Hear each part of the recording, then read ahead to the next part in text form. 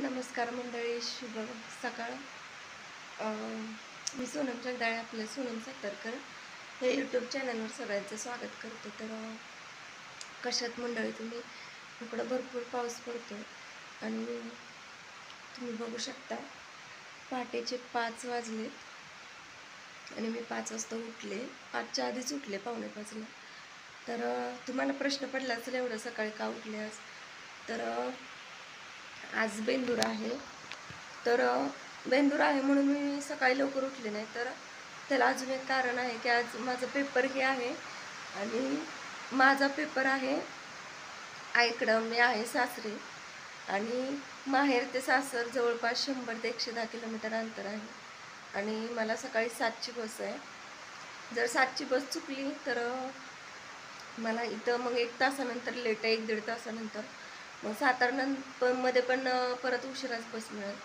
मग पेपरला कदाचित उशीर होईल म्हणून मी लवकर जाणार आहे. तर पाच ते सात आणि दोन तासाचा वेळ माझ्याकडे आहे आणि मला संपूर्ण पुरणपोळीचा स्वयंपाक करायचा आहे. कपडे धुवायचे भांडी किचन आवरायचे सगळेच कामं आवरायचे आणि सातची बस पकडायची आहे. तर काय माहीत कामं उरकतात का नाही आणि बस मला सातची मिळते का नाही. तर बघूया आजचा ब्लॉग खूप इंटरेस्टिंग असणार आहे शेवटपर्यंत. बघा कशी माझी धावपळ होते आज. तर व्हिडिओ नक्की शेवटपर्यंत बघा. तर मंडळी तुम्ही बघू शकता पहाटेचा अंधार आहे सगळीकडं आणि पाऊस पडतोय. कंटिन्यू आठ दिवस झाला आमच्याकडे असाच पाऊस सुरू आहे रात्रंदिवस. तर परत मी व्हिडिओ बनवणार होते पण लाइट गेली त्यामुळे मला व्हिडिओ बनवता आला नाही. तर माझा साडेसहा वाजता सगळा पुरणपोळीचा स्वयंपाक झाला होता. तसा दीड तास गेला बराच वेळ गेला कारण डाळ शिजवून बनवायचं म्हटल्यानंतर. तर बघू शकता तुम्ही कटाची आमटी तयार आहे. गरम गरम भात भातातून वापा निघत आहेत बघा. तळणमध्ये कुरवड्या तळल्यात भजी आणि पुरणपोळी. बघा मऊ लुसलुशीत पुरणपोळ्या तयार केल्यात. तर एक दीड तासामध्ये सगळा स्वयंपाक मी आवरून घेतला. पण आता अर्धा तास उरलेला आणि माझ्याकडं कपडे धुवायचे होते घर आवरायचं होतं भांडी घासायची होती. तर बघ तुम्ही बघू शकता ओट्यावरती सगळा पसारा पडलाय. तर मी सगळं नंतर परत अर्ध्या तासात सगळा ओटा वगैरे सगळं साफ केलं. भांडी ओट्यावरती भरपूर होती. भांडी पण साफ केली सगळा ओटा साफ केला.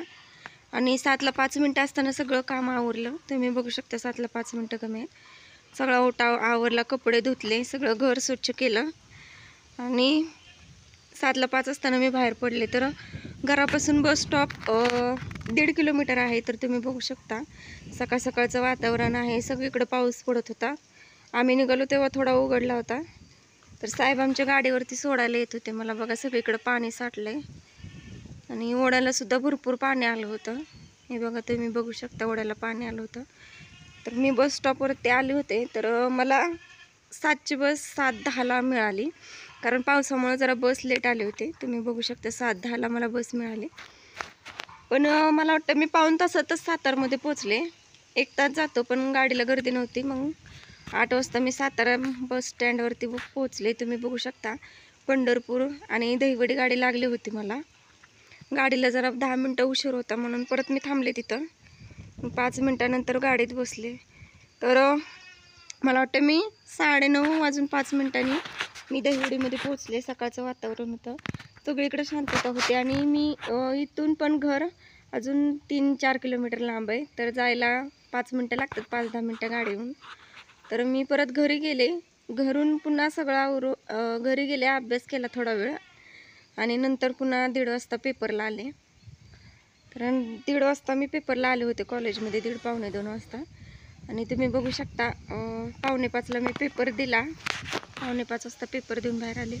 तर आज सकाळी पहाटे जवळजवळ साडेचार पावणे पाच वाजल्यापासून एवढी माझी धावपळ चाललेली. एवढा कंटाळा आला होता मला. तर कारण एवढा शंभर एकशे दहा किलोमीटर अंतर पार करून मी पेपरला आले होते. तर हा कॉलेजचा एरिया आहे. खूप निसर्गरम्य कॉलेज आहेत तर आजचा व्हिडिओ माझा कसा वाटला? आजचा ब्लॉग कसा वाटला? माझी सगळी धावपळ आणि एवढा मोठा पोळ्यांचा स्वयंपाक. तर व्हिडिओ शेवटपर्यंत बघा आणि कसा वाटला व्हिडिओ नक्की कमेंट करून सांगा.